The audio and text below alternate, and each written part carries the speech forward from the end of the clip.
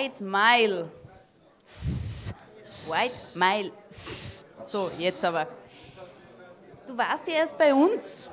Was ist denn los? Bist du so gern da oder immer in anderer Bandformation? Oder? Sie heißt Medina. Ja, ich weiß eh, wie die Medina The one heißt. and only Medina. Also?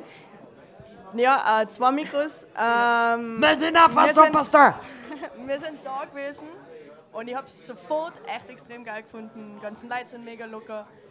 Genau so was braucht man. Das passt. Du warst mit wem da? Mit Klaus Schubert. Mit den Rock Bunnies. The Rock Bunnies. Warum ausge... Also Moment einmal, Rock Bunnies, das hört sich so sehr mal an. Das heißt, Klaus Schubert plus Rock Bunnies. Das bedeutet was genau jetzt? Der Klaus Schubert und die Rock Bunnies. Ja, aber sind das Mädchen? Genau, es geht an Klaus eigentlich darum, er wollte eine Band mit Mädels, hat das zustande gebracht und jetzt sind, ja, sind wir schon ein paar Jahre beim Spielen. Das heißt, du bist aus Tirol. Genau, aus Tirol. Immer schon aus Tirol gewesen. Du bist extra heute für die Mulacak Show hergereist mit dem Lofi. Lofi, woher kommst du? Aus Tirol natürlich auch. Na, ja, Eh klar. eh klar. Eh klar. Kannst du mal sagen Speckknädel bitte? Speckknädel. Shane hat das gesagt und die Medina auch gleich dazu. Speckknädel. Ja, das sind die Tiroler und die sind so geil. Wie seid ihr auf diesen Bandnamen gekommen? Wer ist der Begründer oder wer ist die Begründerin? Eine Freundin von uns, die Mina.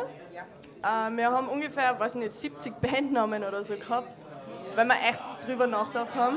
Und White Miles bedeutet für uns eigentlich auf der Straße sein, die Linien am Boden, die weißen Meilen, das ist halt einfach Freiheit, das ist das Leben. Spielst du gerne Schlagzeug oben ohne oder? Oben Äh, ohne. Also man sieht eigentlich. Ja, auf jeden Fall, dieser Adonis spielt nur oben ohne, ja? Das Gibt's machst du heute auch, Grund? Lofi. Es ist einfach scheiß heiß und das ist der Grund. Du Lofi heute spielst doch oben ohne. Wenn man heiß genug wird, auf alle Wie Fälle. schaut's mit der Medina aus?